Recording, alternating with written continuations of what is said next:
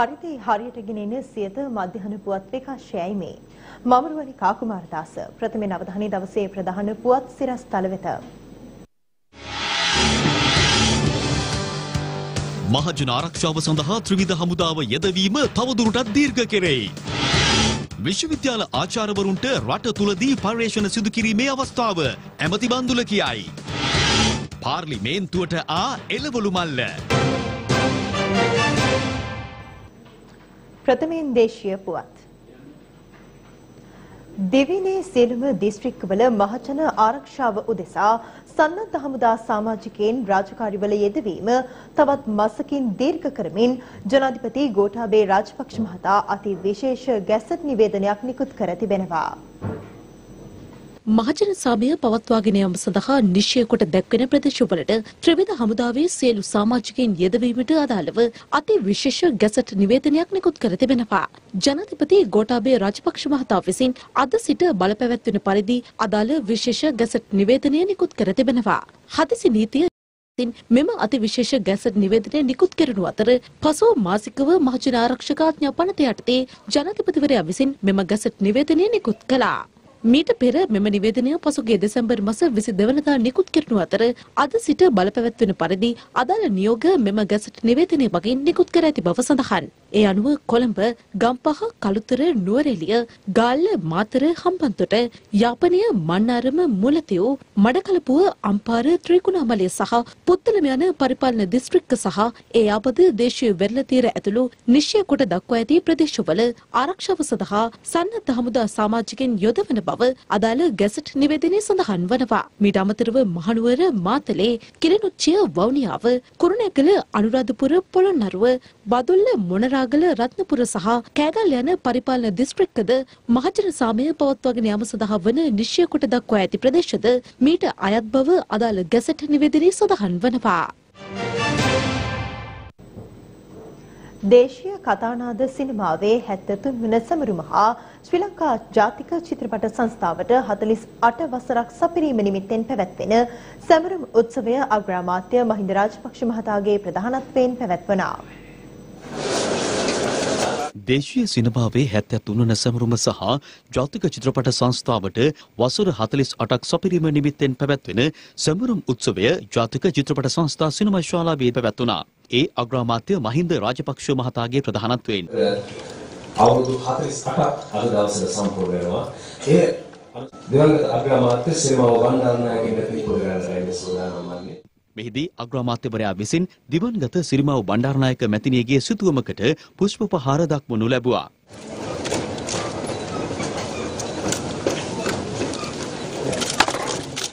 දේශීය සිනමාවට සිදු කරන ලද විශිෂ්ට සේවා වාගයමින් මෙහිදී විශ්‍රාම වැටුප් ගෙවීමක්ද සිදු වුණා.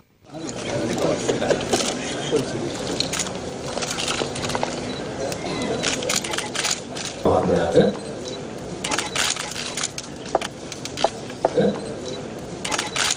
ප්‍රවීණ රංගන ශිල්පී රවින්ද්‍ර රන්දනීය මහතා ඇතුළු ප්‍රවීණ කලාකරුවන් රැසක් මෙම අවස්ථාවට එක්ව සිටියා.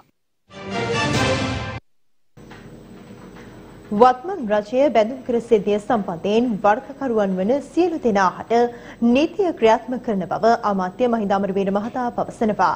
අමාත්‍යවරයා මෙම අදහස් පළ කළේ පාර්ලිමේන්තු සංකීර්ණයෙන් පිටතට පැමිණෙන අවස්ථාවේදී. මේ අතර රාජ්‍ය අමාත්‍ය වාසුදේව නානායක්කාර මහතාද මාධ්‍ය වෙත අදහස් පළ කළා.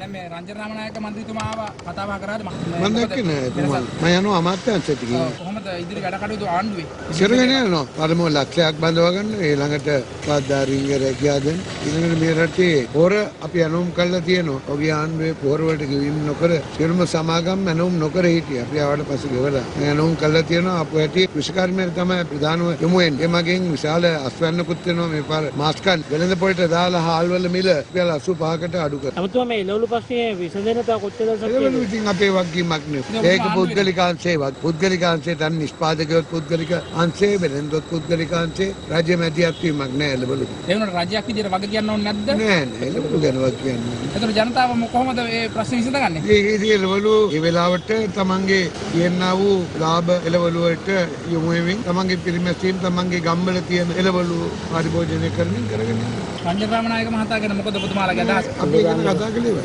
ඒක අපට අයිති වැඩක් නෙමෙයි වගේ අපි. අද පාර්ලිමේන්ත ආවා. මම දැක්කේ නෑ. අද පාර්ලිමේන්තුව හොඳයි. අද ව්‍යවහාරික වාර්තාව කතානායකතුමා පාර්ලිමේන්තුවට ඉදිරිපත් කරනවා කියන්නේ. ඒක ඉතා හොඳ තත්ත්වයක්. අපි බලාපොරොත්තු වෙනවා මහ බැංකු බැඳුම් කර සිද්ධියේ ලොක්කොන්ගේ ඉඳලා පොඩ්ඩොන්ගේ ඉඳලා සියලු දෙනා මේ රටට හෙළිදරව් වෙයි කියලා. සිද්ධිය පළවෙනියටම පැමිණිලි කරේ මම. මේක අවසානයක් දකින්නකම් අඛණ්ඩව මේක පසුපස හඹා යමින් කටයුතු හිටපු අගමැතිතුමත් මේකට වග කියන්න ඕන කියලා කතාවක් නේ සම්බන්ධ. අනිවාර්යයෙන්ම අනිවාර්යයෙන්ම හිටපු අගමැතිතුමා ඇතුළු ඔය නෝට් කල්ලිය ගොඩාක් අය ඉන්නේ. ඒ සියලු දෙනා මේකට හෙළිදරව්. දැන් කොහොමද මේ රටේ එළවලු මිල එහෙම ගැන දන්නවද? දන්නවා. එළවලු රටින් ගන්නේ නැහැ. වුණාට දැන් කොහොමද ජනතාව චෝදනා කරනවා එළවලු මිල වැඩි ඔය ජනතාව බනින ඒක අපි දන්නේ දන්නව නෙමෙයි. ජනතාව ප්‍රශ්නයක් තියෙනවා. නමුත් මේක ඉතින් කරන්න දෙයක්වත් නැහැ. රටින් ගේන්න බෑනේ. ඒ නිසා ඉතින් අපි කොහොම හරි මේක දරා ගන්න වෙනවා. අනාගතයේදීවත් මේ වගේ තත්ත්වයක් ඇති නොවෙන්න අපි කටයුතු කරමු. පංචරාණක මහතා හම්බුනානේ. නෑ මම දැක්ක ඇවිල්ලා ඉන්නවා පාර්ලිමේන්තුවේ හම්බ වෙන. විශේෂ ප්‍රකාශයක් කරනවද? නෑ නෑ අවස්ථාව දුන්නේ නැහැ කතා නෑ. නෑ. විශේෂ ප්‍රකාශයක් කරන අවස්ථාව. පාර්ලිමේන්තුව අද පස්වරු එකට රැස්වීමට නියමිතයි. මේ අතර ඉහළ ගිය අත්‍යවශ්‍ය භාණ්ඩ මිල ගණන් සම්බන්ධයෙන් පාර්ලිමේන්තුවේදී කතා බහට ලක්වනා. මුරකාවල් දැම්මේ ආරක්ෂක අංශවලින් එක්ක බැංකුවලට රත්තරන් බඩුව කඩවලට ඒ වගේ තැන් වලට තමයි අපි අපේ මුරකාවල් දැම්මේ. හැබැයි දැන් මේ රට එළවලු කඩ මංකොල්ල කන තත්වයකට අද අපේ රට පත් වෙලා තියෙන බොහොම අපූර්වයි. මේ වර්තමාන ආණ්ඩුව අලුත් ආණ්ඩුව බලයට පත් වුණාට පස්සේ තමයි මේ එළවලු කඩ මංකොල්ල කන තත්වයකට පත් වුනේ. මේකේ තියෙනවා මේ එළවලු මල්ලේ තියෙනවා බටු. ඔබතුමා දන්නවද ඔබතුමා මං හිතන්නේ මේ මහ පොළවේ පුද්ගලයෙක් හැටියට බටු කිලෝ එකක් ගරු මූලාසනයේ මන්ත්‍රීතුමනේ රුපියල් 400යි. බටු කිලෝ එකක් රුපියල් 400යි මේ මහ පොළවේ. අපි දැන් මේ බටු මේ මහ පොළවේ වැවෙන්නේ නැත්නම් අපි මූදේ අපි අපි සාගරේ හරි මේවා වවන්න ඕනේ. තමුන්නාසරය කාලේ මේ මහ පොළවේ වැවෙන්නේ නැත්නම් අපි මේවා සාගරේ හරි වවන්න අපි මේවට කාංචන විජේසේකර දැන් මේ සභා ගර්භය ඇතුළට මේ ගේන්න පුළුවන් ද්‍රව්‍ය සහ ගේන්න බැරි ද්‍රව්‍ය තියෙනවා. ඔබතුමා මේ පිළිබඳව පරීක්ෂණයක් කරන්න මෙතුමා සංගවගෙන මේ සභාවම අනාරක්ෂිත කරලා මේ වගේ දේවල් ගෙනාවේ කොහොමද කියලා. ඒ පිළිබඳව වහාම පරීක්ෂණයක් කරන්න කරු හොඳයි ඒ සම්බන්ධයෙන් මම අනාරක්ෂිතභාවයක් ඇති වෙන්නේ නැහැ. තමුන්නාසලා මේ මිරිස් කුඩු ටික ගේන්න පුළුවන් නම් බෝච්චි කරලකින් මට මේ සභාවේ අනාරක්ෂිතභාවයක් ඇති කරන්න බෑ. ගරු මූලාසනේ මන්තුමනේ බෝංචි මේ බෝංචි මේ බෝංචි අද වෙළඳ පොලේ කිලෝ කිලෝ එකක් රුපියල් 350ක් බවට පත් වෙලා තියෙනවා. කැරට් අද මේ කැරට් කිලෝ එකක් මේ විවෘත වෙළඳ පොලේ රුපියල් 600යි. අර හීනි මිරිස් හීනි හීනි මිරිස් කිලෝ එකක් රුපියල් 550යි. ඔව් ඒක තමයි. මට ආරක්ෂාව අවශ්‍යයි. මේකට ගේන එක ආරක්ෂාව නෙමෙයි මට මේ ටික ආපහු අරන් යන්න ආරක්ෂාව අවශ්‍යයි. මේ මංගාව තියෙන රත්තරන් වගේ එළවලු ටික ආපහු අරන් යන්න. මේ මංගාව තියෙන ලේස්. මේ ලේක්ස් කිලෝ එකක් අද මේ වෙනකොට රුපියල් 750යි. රතලෝනෝ කොහමද සැපද කොහමද අපේ අහිංසක මිනිස්සෙක් ජීවත් වෙන්නේ දැන් අන්තිමට තනකොළ ගන්න පෙන යුගයකට තමයි අද ආණ්ඩුව මේ මිනිස්සු පත් කරලා තියෙන්නේ එතන එතුමගේ දැනුමේ අවබෝධයේ අඩුපාඩුවක් නැහැ. එතුමාට උපාධියකුත් තියෙනවා මම දන්නේ නැහැ. හැබැයි පෙර පාසල් අධ්‍යාපනය පිළිබඳ ගැටලුවක් තියෙනවද දන්නේ නැහැ. මේ ආණ්ඩුව ඇවිල්ලා මාස දෙකෙන් එළවලු මිල උඩු යටිකුරු කරන්න, පළතුරු මිල අඩු යටිකුරු කරන්න තමුන්නාන්සලා කරපු ආණ්ඩුවේ තමුන්නාන්සලා පෝර සහනාධාරය කපලා ඒ වගේම පෝර සංස්ථාවට බිලියන 600ක් පොල්ල තියලා පෝර සංස්ථාව විනාශ කරලා යන්න එපා චුට්ටක් අහලා යන්න. ගරුවන්තුමා. ඒ නිසා ඒ නිසා එහෙම පොල්ල තියපු ආණ්ඩුවක් ඉමදුව ප්‍රාදේශීය සභාවේ ඊයේ උණුසුම් තත්වයක් ඇතිවුණා. එමදුව ප්‍රාදේශීය සභාව ඊයේ රැස් වුණා. ඒ එහි සභාපති ඒ.වී. සරත් කුමාර මහතාගේ ප්‍රධානත්වයෙන් එමදුව ප්‍රාදේශීය සභාව රැස් වූ අවස්ථාවේදී එහි එක්සත් ජාතික නිදහස් පෙරමුණේ මන්ත්‍රී ඒ.ජී. අරුණ මහතා එමදුව ප්‍රාදේශීය සභාවට පැමිණි ආකාරයත් සමග එහි ඇති වූයේ උණුසුම් තත්වයක්.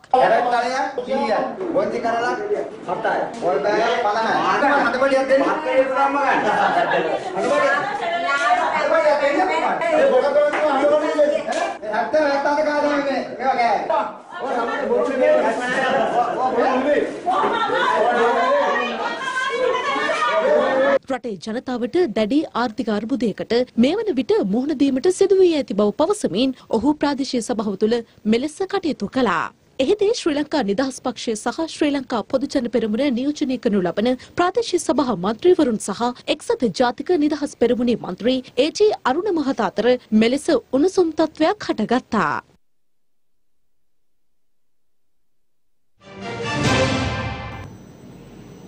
නව තාක්ෂණයේ යොදා ගනිමින් මෙරට කෘෂි කර්මාන්තයේ නගා සිටුවීමට කටයුතු කරන බව රාජ්‍ය අමාත්‍ය තිලංග සුමතිපාල මහතා පවසනවා. රාජ්‍ය අමාත්‍යවරයා මේ බව ප්‍රකාශ කළේ මහනුවරදී පැවති මාධ්‍ය හමුවකට එක්වෙමින්.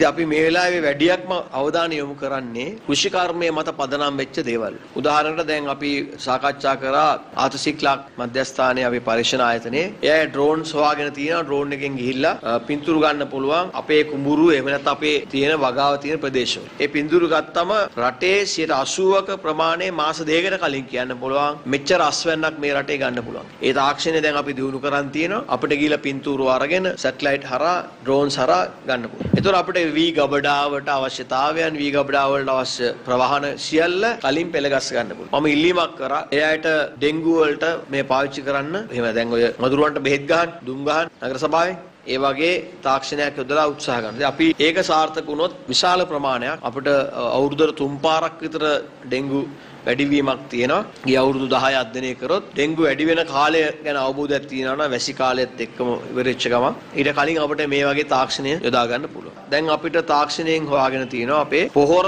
ආරක්ෂා කරගන්න. පස්සේ තියෙන ඒ ගුණය රැක ගන්න ගමන් කාබනික පොහොර පාවිච්චි කරමින් පස රැක ගන්නත් ඒ කාබනික පොහොර වලට දාන බෙහෙත් වල ඵලදාව වැඩි දියුණු කරන්න. ඉතින් අපිට විශ්වාස කරනවා අවුරුදු 5ක් ඇතුළත ලංකාවට මේ අලුතෙන් සොයාගත්ත තාක්ෂණයට අපි ආයෝජනය කරොත් පිටරටින් ගේන ඔය රසායනික බෙහෙත් ඉක්මනට වවන්න කියන ඒවා අඩු කරන්න පුළුවන් වෙයි. ඒ වගේම කාබනික පොහොර වැඩි කරන්න පුළුවන් වෙයි. ඒකෙන් අපේ ඵලදාව වැඩි කරන්න පුළුවන්. අප පස රැකේ. ඒ පස් ටික රැකෙනවා වගේම අපිට එතකොට අතුරු ඵලයි කියලා අපි හිතන ඔය වකුගඩු අමාරු වගේ දේවල් වලට තියෙන ප්‍රශ්න වලටත් විසඳුම් සොයාගෙන තියෙන අපේ විද්‍යාඥයෝ විදිහට අපි දැඩි ලෙස මැදිහත් වෙලා ආයෝජනය කරන්න බලාපොරොත්තු වෙනවා. වී අලෙවි මණ්ඩලය හා සමූපකාර දෙපාර්තමේන්තුව එක්ව ලංකා සතොස්ස ප්‍රධානත්වයෙන් මේ වසර තුලදී වී මිලදී ගැනීමේ ප්‍රමාණය වැඩි කිරීමට කටයුතු කර ඇති බව සතොස්ස ප්‍රධාන විධායක නිලධාරී දුෂ්මන්ත තොටවත්ත මහතා පවසනවා.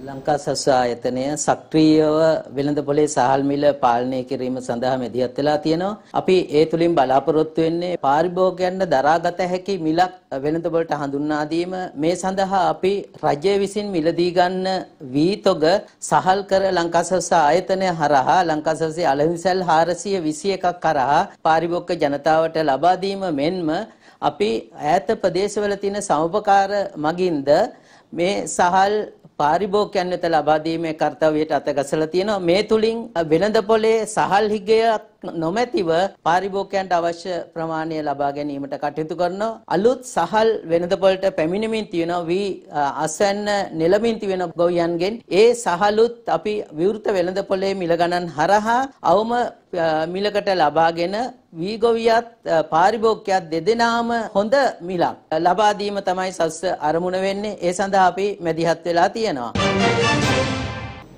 එක්සත් ජාතික පක්ෂ නායකත්වයේ පිළිබඳ තීරණයක් ලබා දීම අද දිනේ සිදුවනු ඇති බවට වාර්තා වනවා. ඒ සම්බන්ධයෙන් පක්ෂයේ ප්‍රබලයින් සාකච්ඡාවන් රැසක් මේ වන විට සිදු කර අවසන්. එක්සත් ජාතික පක්ෂ නායකත්වය සම්බන්ධයෙන් අද දිනේදී පිළිතුරක් ලබා දීමට හැකිවනු ඇති බවට පක්ෂ ආරංචි මාර්ග පවසනවා. කෙසේ වෙතත් ඒ සම්බන්ධයෙන් පක්ෂ ජ්‍යෙෂ්ඨයින් හෝ පක්ෂ නායකත්වය තහවුරු කිරීමක් මෙතෙක් සිදු කර නැහැ. කෙසේ වෙතත් පසුගිය දිනවල පැවති සාකච්ඡාවලදී තීරණය වී තිබුණේ දින දෙකක කාලයක් තුළ පක්ෂ නායකත්වය සම්බන්ධයෙන් අවසන් තීරණයක් ගනු ඇති බවයි. පසුගිය 20 වනදා වත්මන් නායක රනිල් වික්‍රමසිංහ මහතා සහ විපක්ෂ නායක සජිත් ප්‍රේමදාස මහතා වෙන් වෙන් වශයෙන් කතානායක කරු ජයසූරිය මහතා හමු වී සාකච්ඡා කර තිබුණා. ඒ අනුව එහි අවසන් තීරණයයි අද දින ප්‍රකාශයට පත් කිරීමට නියමිතව තිබුණේ. මේ අතර සජිත් ප්‍රේමදාස මහතා සමග කරු ජයසූරිය මහතා පැවැත් වූ සාකච්ඡාවේදී වත්මන් නායක රනිල් වික්‍රමසිංහ මහතා තවදුරටත් පක්ෂයට අවශ්‍ය උපරිම සහායක් ලබා ගැනීම සඳහා කටයුතු කළ යුත්තේ කෙසේද යන්න පිළිබඳව දීර්ඝ ලෙස සාකච්ඡා කර ඇති බවට තොරතුරු වාර්තා වනවා. පාර්ලිමේන්තු මන්ත්‍රී හේෂා විතානගේ මහතා ප්‍රකාශ ප්‍රකාශ කර සිටියේ ඉතා කඩිනමෙන් පක්ෂයේ නායකත්වය සජිත් ප්‍රේමදාස මහතාට හිමි වනු ඇති බවයි. පාර්ලිමේන්තු මන්ත්‍රී ආශු මාරසිංහ මහතාගෙන් කළ විමසීමකදී මන්ත්‍රීවරයා සඳහන් කර සිටියේ රනිල් වික්‍රමසිංහ මහතාගේ පරිණත භාවය එක්සත් ජාතික පක්ෂයට තවදුරටත් ලබා ගැනීම අත්‍යවශ්‍ය වන කරුණක් බවයි. මෙරට උසස් අධ්‍යාපනය ජාතික හා ජාත්‍යන්තර වශයෙන් ඉහළ තලයකට ගෙනීමට කටයුතු කරන බව අමාත්‍ය බන්දුණු ගුණවර්ධන මහතා පවසනවා. ඒ පල්ලිකැලේ ප්‍රදේශයේ පැවති වැඩසටහනකට එක් වෙමින්. ලෝක ප්‍රවණතාවයේ තුල විද්‍යාව තාක්ෂණය හා අනිකුත් පර්යේෂණවල තියෙන වැදගත්කම ප්‍රායෝගිකව අවබෝධ කරගත් ජාතික නායකයෙක් රටට බිහි වෙලා තියෙනවා කියලා මම විශ්වාස කරනවා. ඒ අනුව ඔහුගේ ප්‍රතිපත්ති ප්‍රකාශනය තුල ඉතා පැහැදිලිව නිශ්චිත ලෙස සඳහන් කරලා තිබෙනවා. මේ රටේ දරු සම්පත නැත්නම් මානව සම්පත ගුණ නැන බලසුව සපි සපිරි විශ්වයට සම්පතක් විය හැකි දරුවන් බවට පත් කිරීම සඳහා අපස උසස් පෙළ සමත් වෙන සියලුම දරුවන්ට උපාධියක් දක්වා අධ්‍යාපනය ලබා ගැනීමේ ඉඩ ප්‍රස්තාව පුළුල් කරනවා කියන. මේ රටේ විශ්වවිද්‍යාල පද්ධතිය තුල සිටින ආචාර්යවරුන්ට වඩා වැඩි පර්යේෂණාත්මක පුහුණුවක් ලබා දීම සඳහා අපේ රටේ විශ්වවිද්‍යාල පද්ධතියෙන් අපි යවනවා වෙන රටවලට මාස්ටර්ස් කරන්න, PhD කරන්න, ආපහු ගිහිල්ලා එන්න බොන්ඩ් එකකුත් සයින් කරන්නම් කියලා. මේ අපි එහෙ යවලා බලාගෙන ඉන්නේ. ඊට මීට හොඳයි මේ ඉන්න සියලු දෙනා ගෙනාල්ලා NIF S එකට වැඩි සම්පත් ප්‍රමාණයක් දීලා අපේ රටේ බුද්ධිමතුන් උගතුන් හා විද්‍යාඥයන් මේ ආයතනය තුලින් බිහි කර ගැනීම සඳහා වැඩි අවධානයක් යොමු කළ යුතුයි කියලා මම විශ්වාස කරනවා. ඒ තුලින් අපිට පිට විදේශවලට යන විදේශ විනිමය ඉතිරි කර ගැනීම සඳහා අපේ රටේ ගොඩනගන්න සිටින අපේ සෝජාතිකයන් අපේ රට තුල රඳවා ගැනීම සඳහා අපේ දරුවන්ට වඩා හොඳ අනාගතයක් ඇති කිරීම සඳහා තිවාල් වෙයි කියලා අපි බලාපොරොත්තු වෙනවා. ජනාධිපති ගෝඨාභය රාජපක්ෂ මහතාගේ නව සංකල්ප හේතුවෙන් ඉදිරි මහමැතිවරණය අති විශිෂ්ට ලෙස ජයග්‍රහණය කිරීමට හැකියාව පවතින බව හිටපු උතුරුමැද පළාත් ප්‍රධාන අමාත්‍ය එස්.එම්. රංජිත් මහතා පවසනවා. අනුරාධපුර ප්‍රදේශයේදී මාධ්‍ය වෙත අදහස් දක්වමින් ඒ මහතා මෙම අදහස් පළ කළා. ගෝඨාභය රාජපක්ෂ මැතිතුමාගේ නායකත්වයෙන් හොඳ දැක්මකින් ඒ වගේම වැඩපිළිවෙලකින් අපි දන්න දූෂණය වංචාව අවභාවිතාව නාස්තිය මේ දුරු කරලා යන මේ වැඩපිළිවෙලට කිසිම බාධාවක් හෝ එහෙම නැත්නම් අභියෝගයක් කියන එකක් ගැන හිතන්නවත් පුළුවන් දෙයක් ජාතික පක්ෂය. ඒ නිසා අපි ඉදිරි මැතිවරණ එනවා. ඉදිරි මැතිවරණයේදී තුනෙන් දෙකේ බලයක් ලබා ගැනීම මේ වැඩ පිළිවෙලට අපි යනවා. එතනදී අපි දන්නවා මේ රටේ ජනතාව බුද්ධිමත් ජනතාවද තේරුම් ගන්න තියෙනවා. පහුගිය ජනාධිපතිවරණයේදී ගෝඨාභය රාජපක්ෂ මැතිතුමාට දුන්නු ඡන්දය හා සමාන. අද ඒ ජනතාව ඉතාම සත්‍යමත්ව බලාපොරොත්තුෙන් ඉන්නවා මේ වැඩ පිළිවෙල ඉදිරියට ගෙනෙන්න. ඒ වගේම හංසයට ඡන්දය දුන්නු විශාල සංඛ්‍යාවක්. අද ගෝඨාභය රාජපක්ෂ මැතිතුමාගේ මේ වැඩ පිළිවෙල ගැන ප්‍රසාදය පළ කරමින් අද අපිත් එක එකලාශ වෙමින් ඉන්නවා. ඒ නිසා ලක්ෂ 12කින් අපි දිනපු ඡන්ද සංඛ්‍යාව අපිට ලක්ෂ 25 දක්වා ඉස්සරහට වැඩි ඡන්ද වලින් ගණන් යන්න පුළුවන් වෙයි කියලා නියත වශයෙන්ම අපිට පැහැදිලිව අද පේනවා. සභා මැතිවරණය එන්න කල් යන සමාන කට්ටිය කියන කතිකාව නෑ රනිල් වික්‍රමසිංහ තමයි ඡන්ද කල් දැම්මේ. ඒ වගේම මේ බොරු සංශෝධන කරලා පාර්ලිමේන්තුවට පණක් ගෙනල්ලා මේ කූඩු උපක්‍රම යොදවලා මේවා වෙන වෙන කුමන්ත්‍රණකාරීන්ගේ බලාපොරොත්තු ඉෂ්ට කෙරුවේ. එහෙම කරන්නේ ගෝඨාභය රාජපක්ෂ ජනාධිපතිතුමා. ඒ වගේම මහින්ද හිටපු ජනාධිපතිතුමා. ඒ නිසා පැහැදිලිව අපි කියනවා මේ රටේ ශක්තිමත් පාර්ලිමේන්තුවක් අවශ්‍ය වෙලා තියෙන වෙලාවක් මේ. ඒ නිසා මොකද ඉතිරි දැක්ම වැඩ පිළිවෙල යන්න නම් ශක්තිමත් පාර්ලිමේන්තුවක් අවශ්‍යයි. ඒ නිසා පාර්ලිමේන්තුවේ බලය ඉස්සරලා අපි ලබා ගන්න ඕනේ. බලය ලබා ගත්තට පස්සේ අපි අනිවාර්යයෙන්ම අපේ පළාත් සභා මැතිවරණය තියෙනවා. ඒ සඳහා අපේ නායකව අපිට පොරොන්දු වෙලා තියෙනවා. ඒ නිසා අපි විශ්වාස කරනවා රටේ සියලුම පළාත් සභා එකට තියන්නත් ඒ වගේම පැරණි ක්‍රමයට පළාත් සභා තියන්නත් අනිවාර්යයෙන්ම කටයුතු කරනවා කියන එක අපි කියනවා. දැන් රටවටා පුවත් කිහිපයක් කෙටියෙන්. ආරක්ෂක අමාත්‍යංශය යටතේ පිහිටුව ඇති අපි වෙනුවෙන් අපි අරමුදලේ සමාජිකයෙකු ලෙස අග්‍රාමාත්‍ය ආර්ථික කටයුතු ජ්‍යෙෂ්ඨ උපදේශකවරයෙකු වන අජිත් නිවාඩ් කබ්‍රාල් මහතා පත් කර තිබෙනවා. අජිත් නිවාඩ් කබ්‍රාල් මහතා 2006 වසරේ සිට 2014 වසර දක්වා මහ බැංකු අධිපති වශයෙන්ද සැලසුම් ක්‍රියාත්මක කිරීමේ අමාත්‍යංශයේ ලේකම්වරයා ලෙසද සේවය කරනු ලැබුවා. ඉන්දියානු නාවික හමුදාවට අයත් අයිරාවන් නෞකාවේ නාවික නිලධාරීන් සඳහා ආපදා කළමනාකරණ සහ ෂණික ප්‍රතිචාර දැක්වීමේ පුහුණු වැඩසටහනක් ගංගේවාඩිය ෂණික ක්‍රියාකාරී බලගන මූලස්ථානයේදී පසුගියදා පැවැත්වුණා. මෙම නෞකාව තෙදින සංචාරයක් සඳහා ජනවාරි 20 වන දින දිවයිනට සේතු වී තිබෙනවා. ගාල්ල බොනවිස්ටා ප්‍රාථමික පාසල ජාතික පාසලක් බවට පත් කර දෙන ලෙස සහ එම විදුහලේ විදුහල්පතිනිය ඉවත් කර දෙන මෙන් ඉල්ලා එම පාසලේ ඉගෙනුම ලබන දරුවන්ගේ දෙමව්පියන් අද උදැසන ගාල්ල මතර ප්‍රධාන මාර්ගයේ උණවටුන පාසල අසලදී විරෝධතාවයක නිරත වුණා.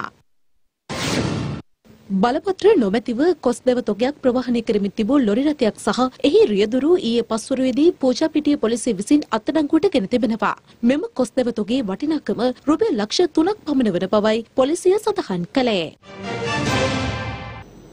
සියත මධ්‍යහන පුවත් විකාශයේ නිමාවට පත්වනවා. සුබ දවසක්.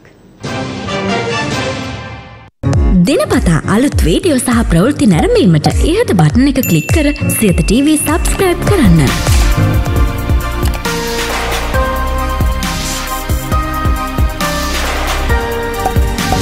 වීඩියෝ ගැන මුලින්ම දැනගන්න මෙම සීනුව ක්ලික් කරන්න.